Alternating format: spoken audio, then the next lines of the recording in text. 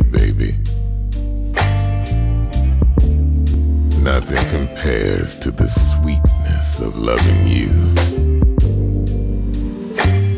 We are more than friends, less than lovers. Every moment with you is a temporary forever.